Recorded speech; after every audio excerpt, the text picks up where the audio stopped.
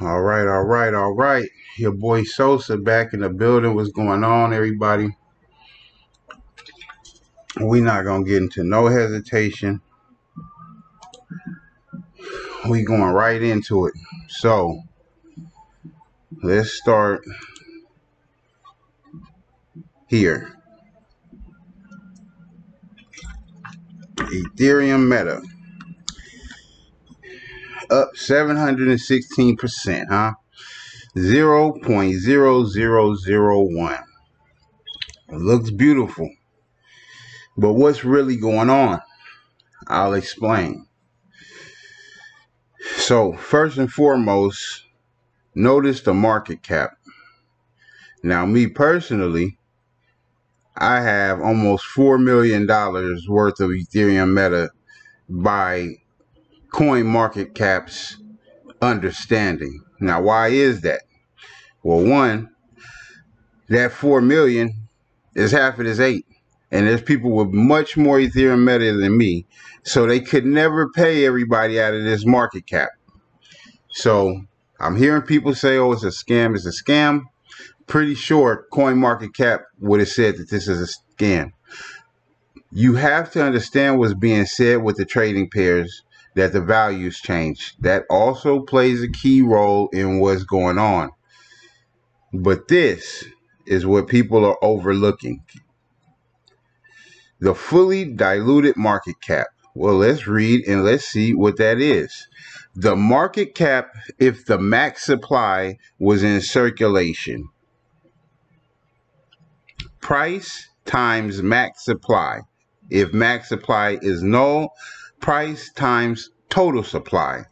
So, what you have in here is, from what I see, more of a default than a glitch with Coin Market Cap, Trust Wallet, and Coinbase Wallet because it also shows um, the value of your tokens according to the fully diluted market cap and not the actual market cap as it stands. But as you see, the coin market cap team has not verified the project's market cap.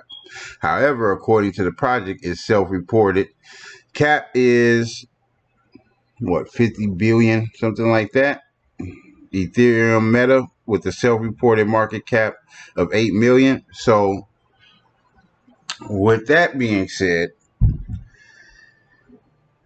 how do we turn this into anything if possible? How do we do this? And how do i know that this is what's going on? So let me show you.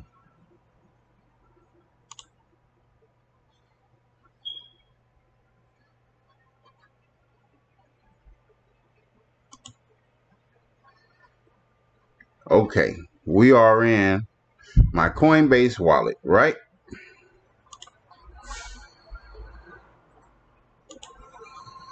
Ethereum Meta. And you see my first transactions. I sent to my Coinbase wallet a hundred million. That at the fully diluted market market cap value is worth thirty one thousand now. It was only worth nineteen at first. Then I sent a billion and some change, a billion a hundred million. That's worth three hundred and forty five hundred thousand. Now, I took half of that uh, basically 536 million, which comes out to um, 168,000.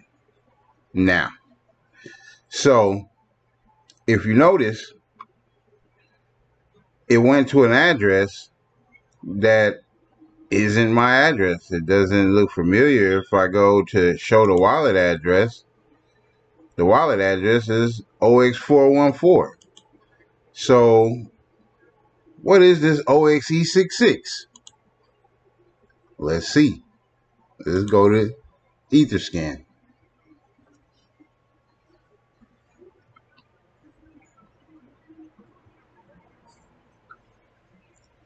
So, this is where the magic happens. my wallet address, the contract, zero EX proxy, where it ended up, supposedly, right? So it was a transfer for 0.004 Ether from Wrap Ether to Exchange Proxy, Exchange Proxy to Zero Proxy, Zero Proxy back to my wallet, but at the price of 0.004 and not the actual price that I was selling it for. Because when you see here, the transaction action is 536 million Ether Meta for this much Ether. So people are seeing this happen. And that's because within this exchange, which was Coinbase Wallet, it shows you the amount up until the point that it actually goes through the filtering of the blockchain, wrapped ether, exchange proxy, zero X proxy, and back to you. So while it looked like I didn't receive anything, it never dawned on me that this is so much of a increment of ether that this went back to my wallet. But it was so little, I didn't even notice it. It's probably pennies. I'd have to look it up. So now where I do get a little lost, I will admit, is right in here. The tokens transferred from my wallet to this for this. 5 million. 1700 so the cash value is there. My wallet to zero X proxy 536 million for $168,000. Uniswap to exchange proxy for 0.004 wrapped ether. 0x proxy to Uniswap for 536 million coins at the price of 168,000. So this is where I'm getting a little lost at. Well, I'm seeing big numbers over here. Why isn't that popping up on my end? Why isn't that get lost on my end? But then on Uniswap's end, that shit looks good. On Zero X Proxies end, that shit looks good. This is a big deal for me right here. From me to Zero X Proxy for this equals this, well, when does the shit come back to me? So now you get a little bit of understanding of what's going on here. You're having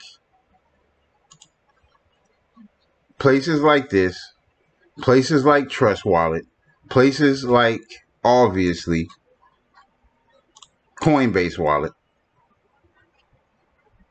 showing up big numbers up until it's time to sell. Then it's converting the price for the fully diluted market cap for the price at the actual market cap, which is why when you go on places like CoinGecko, they going by the actual market cap, which it hasn't moved up a percent. But does that mean that um, that in itself, I don't typically believe it's just an outright scam. I, I don't see anything that shows that.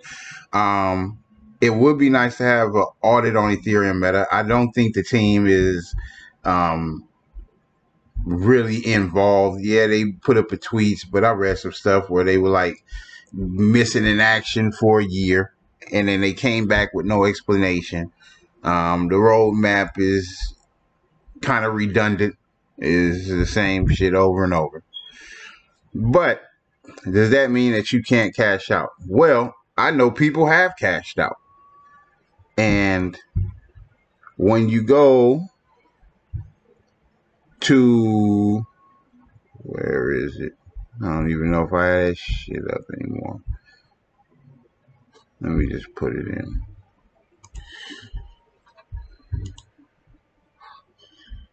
And you go to quick swap.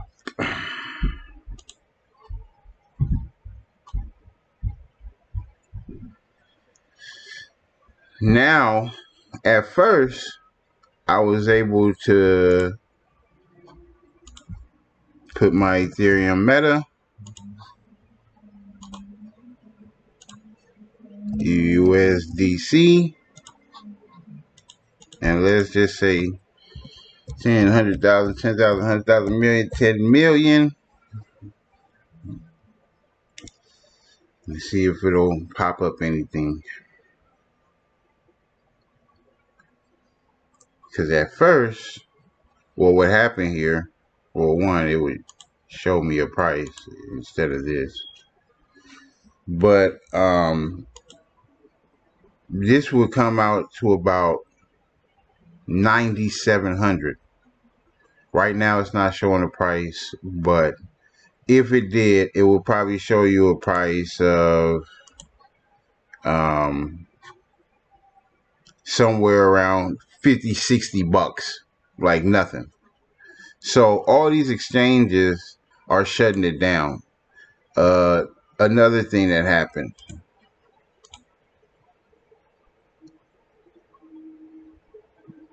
MetaMask. Let's go to Ethereum.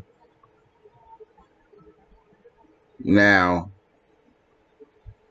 this says $9.42, right? So that's 564 million. That's $9.42. So they sent me a letter here. Um, MetaMask, and they said, "Hey, um, right now we can't show you your funds. You know, we, we're showing." You know, I know it's showing nine dollars and forty-two, but don't worry, your money is safe. Here's uh, the record of it. So what MetaMask is doing, they like, nah, we going by the actual market cap. We might, we're not going by that, that diluted shit. But then you go to Ethplorer, and you see that same transaction. This is where MetaMask sent me to. That same transaction is worth $102,000. And it shows all these transactions for 98,000, 3,000, all of this stuff, right? So it's saying that MetaMask recognizes, hey, yeah, your money's there, but that's under the diluted. We're not going by the diluted. So now, how do we cash out? Well, this is where, of course, I had problems because if I knew how to do that, I'd be the hell up out of where I'm at. But I'm not. I need your help to help me figure this out. So let's go here. XYZ trade. Actually, this one. Here we go. Okay. So, a billion is 158 AVAX. I already did the math. 158 AVAX converted to USD is around 16,000. So if I have 10 billion Ethereum Meta, then what this turns into is around 168,000. Now, that's for 10 billion. Now, if you was able to get this to go through once, excuse me, now you now you found a glitch because you can easily just go back and just go get some more and then do this process over again. So that's where I need to help. It comes with the Avalanche C chain. So see the Avalanche C chain for Ethereum Meta. Pop it in, get the Ethereum Meta to pop up. But when I connect my wallet, it shows zero. It says I don't have enough Ethereum Meta because the wallets they allow you to connect is Wallet Connect, which is based off of um, for me my Trust wallet, which doesn't which isn't using the Avalanche C chain, Coinbase wallet, which also is not using the Avalanche C chain, and then my MetaMask wallet, which is not using the fully diluted cap is using the actual market cap. So what we need to figure out here, people, is we need to figure out how can we get our coins to pop up to where they show up on the Avalanche C chain in, in one of our wallets.